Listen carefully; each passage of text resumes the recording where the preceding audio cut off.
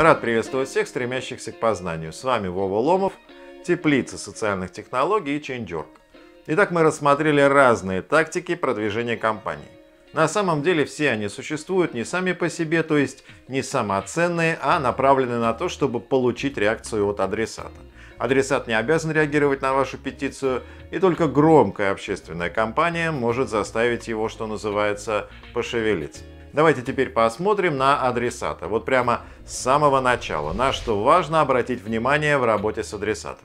Мы уже не раз говорили о том, что очень важно правильно выбрать адресата вашей петиции.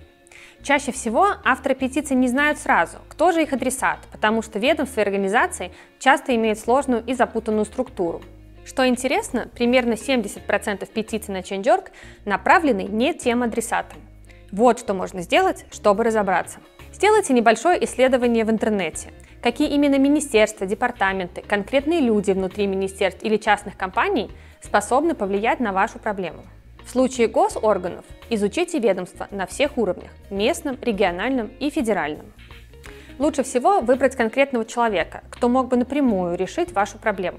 Подумайте, действительно ли адресатом должен быть глава государства, как мы часто видим на платформе. Вместо высокопоставленных представителей власти – почти во всех случаях более эффективно направлять свои петиции людям, у которых есть соответствующие полномочия. Адресатов может быть несколько, но лучше всего ограничиться одним, чтобы ответственность за решение вопроса не распылялась. А если вы все еще сомневаетесь, спросите ваших подписантов. Тут у нас в панели управления петициями есть возможность добавить электронную почту адресата. Ее бы хорошо найти и добавить, и тогда система Change.org автоматически отправит ему оповещение о существующей петиции с приглашением ответить на платформе. На многих это действует отрезвляюще, поверьте. Кроме того, как я уже говорил, если какой-то госорган или крупная коммерческая структура зарегистрирована на Change.org, а их, кстати, немало, им также придет оповещение. И вам даже не придется искать контактные данные. Просто выбирайте из поля автозаполнения, но в любом случае это не исключает вашего участия в общении с адресатом. Да, Вова, адресаты часто отвечают на платформе. Среди зарегистрированных адресатов Минприроды, МЧС, Минздрав, губернаторы, депутаты Госдумы, Яндекс, Сбербанк и Банк Тинькофф.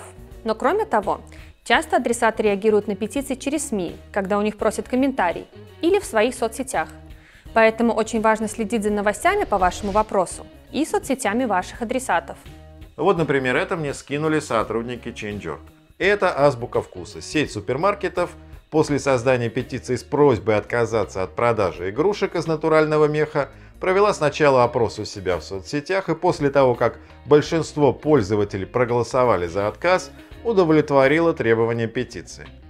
Сотрудники Фонда защиты городских животных, авторы петиции, сделали обновление, в котором призвали свое сообщество поучаствовать в вопросе и добиться необходимого результата. Азбука отреагировала и отказалась от продажи. А что делать, если отреагировали, но не отказались? Ну, в смысле, что делать, если ответили и вообще идут на контакты, крайне доброжелательные, но делать ничего не хотят? Да, Фонд защиты городских животных так и сделал. Они через обновление попросили подписантов принять участие в вопросе азбуки. Но отвечая на твой вопрос, Вова, что делать, если реакция адресата есть, а решения нет? Короткий ответ – продолжать кампанию и не сдаваться. Например, Минздрав ответил на платформе на петицию Марины Десяцкой за восстановление на работе команды детских трансплантологов. Но проблема не решилась. Марина в ответ сразу же опубликовала обновление со своими комментариями каждому пункту ответа от ведомства и продолжила кампанию вплоть до победы. Еще важно напомнить, чтобы вам не просто ответили, а внимательно разобрались в вашей ситуации, лучше применить несколько способов обращения к адресату, о которых мы уже говорили ранее. Вы можете массово обратиться к адресату по почте или через интернет-приемную, организовать акцию звонков – обратиться к адресату СМИ или даже договориться о встрече и передать петицию. Помните, что как и к интервью журналистам, к такой встрече надо заранее подготовиться.